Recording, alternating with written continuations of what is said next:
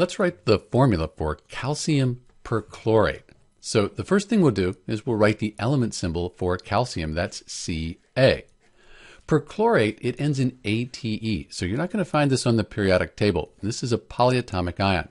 So you either memorize that the perchlorate ion here is ClO4 and the whole thing has an ionic charge of 1 minus, or if you're allowed, you look this up on a table of polyatomic ions. So calcium is a metal, and then perchlorate, this is a group of nonmetals. It's a polyatomic ion. So we have an ionic compound, and we need to take charge into account. Calcium is in group 2 on the periodic table. That means it'll have a 2 plus ionic charge.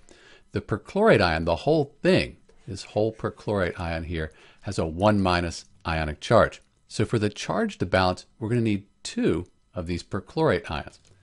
Let's replace this with parentheses. And now we have 2 times 1 minus, that's 2 minus. That balances out the 2 plus. So let's remove these symbols here.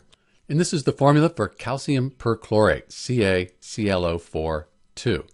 If you were given the formula and asked to write the name, you'd know you have calcium, and then you know you have the perchlorate ion here.